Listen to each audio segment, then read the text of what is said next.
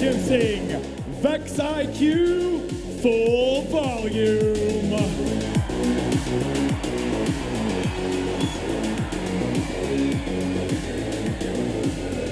Let's find out how Full Volume is played.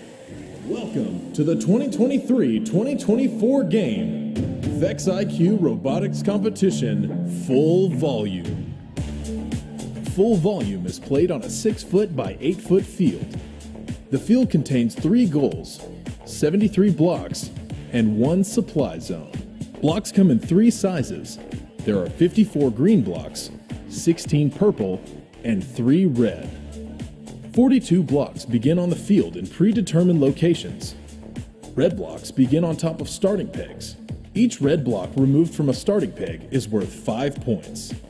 The remaining 31 blocks begin in the supply zone, where they will be randomly placed before each match.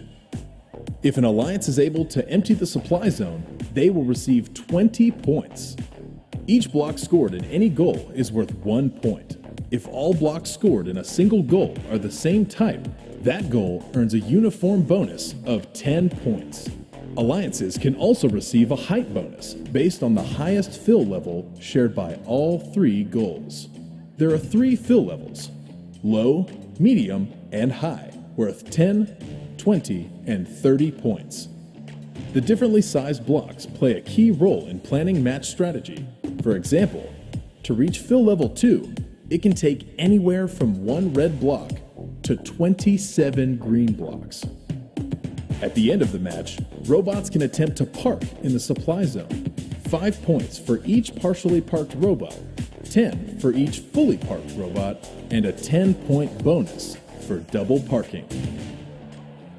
There are three ways to play in the Vex IQ